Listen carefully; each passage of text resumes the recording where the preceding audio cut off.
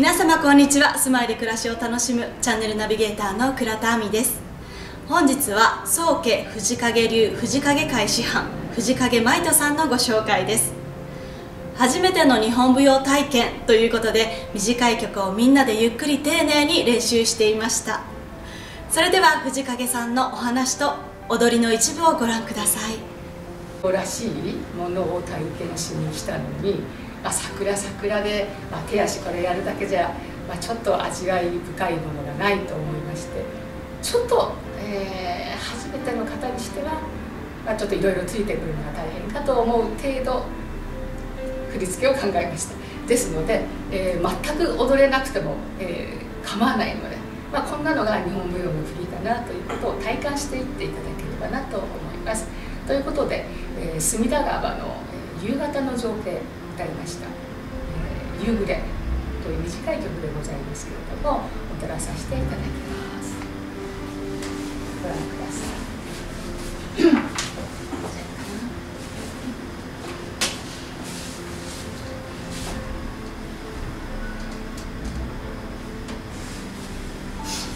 い。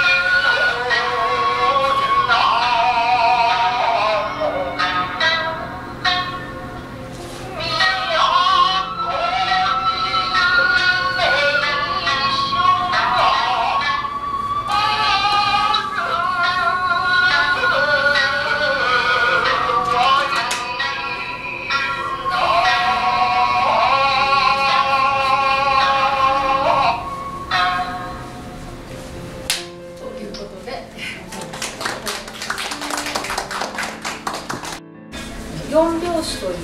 笛と太鼓と大包み小包み要はあのピーシャラドンジャラみたいなそんな感じでまあ足踏みしたりなんかしながら、まあ、踊っていたので今日の私たちが思ってるこの踊りとはかなりあの形が違うものだったと思うんですね。でそれがこのまあ打楽器じゃない弦楽器が入ってきたということでリズムからメロディーになっているということでね、まあ、複雑なあの伴奏メロディーラインのある伴奏になってくると、まあ、おのずとそこからあのストーリー性のある踊りですとかあとは寸劇ですとか、まあ、そういうふうに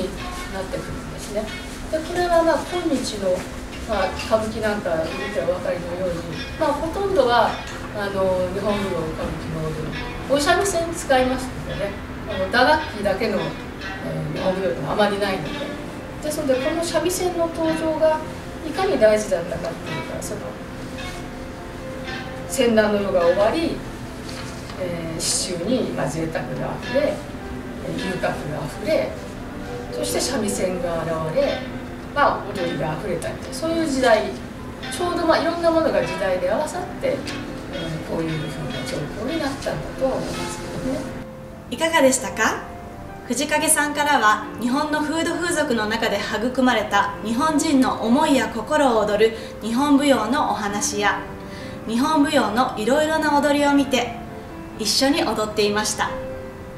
男性の参加者もいらっしゃったようです。藤影さんの詳細は概要欄に貼っておきますのでぜひチェックしてみてくださいね。ここ土屋グループ銀座ショールームではさまざまなセミナーやイベントを開催しておりますので銀座ショールームって検索してみてくださいね。よろしければチャンネル登録高評価よろしくお願いいたします。また別チャンネルでありますが倉田亜美でございますでは私のプライベート動画を配信しておりますのでそちらも概要欄からチェックしてご覧いただければと思います。それでは本日は以上となります。チャンネルナビゲーターは倉田亜美でした。